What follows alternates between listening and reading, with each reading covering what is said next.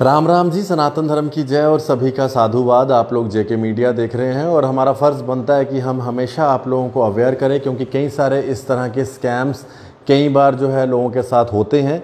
मैं आपको बता दूँ कि एक स्कैम जो बड़ा पुराना चल रहा है और उसके ऊपर कोई रोकथाम भी नहीं है, वो स्कैम है जो टोल प्लाज़ा के ऊपर स्कैम होता है।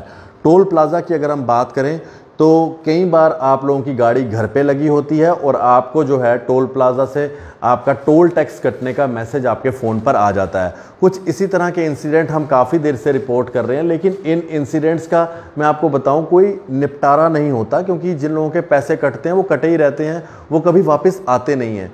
अब कई लोगों के 50 कट रहे हैं किसी के 100, 200, 250 रुपया कट रहा है। तो कई बार लोग सोचते हैं कि हम क्या बताएँ।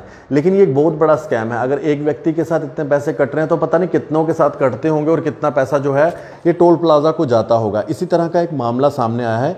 एक व्यक्ति के जो है घर बैठे टोल प्लाजा से जो है पैसे कटे हैं और उनका कहना है कि वो घर पे हैं उनकी गाड़ी भी घर से बाहर नहीं निकली है और उनका जो है टोल प्लाज़ा से पैसे कट रहे हैं।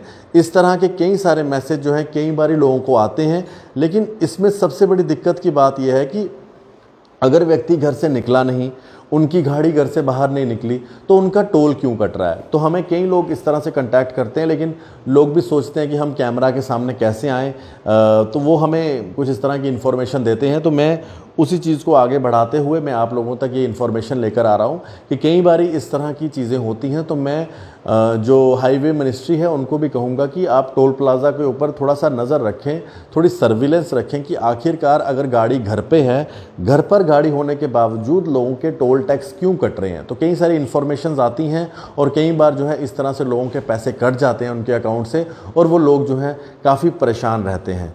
इस तरह का कई सारे इश्यूज़ जो हैं आते रहते हैं और अभी भी हमारे पास कुछ लोग आए जिन्होंने इससे बात बताई। इसीलिए हमने सोचा कि एक वीडियो बनाई जाए, जिसमें कि मिनिस्ट्री को ये कहा जाए, जो रोडवेज़ हाईवे की है, कि आप टोल प्लाजा के ऊपर कुछ चेक रखा जाए, खास करके जो आपके फास्ट टैग हैं, क्योंकि अगर इस तरह से लोगों के पैसे कटते रहेंगे तो लोग अपने फास्ट टैग में पैसे रखेंगे क्यों?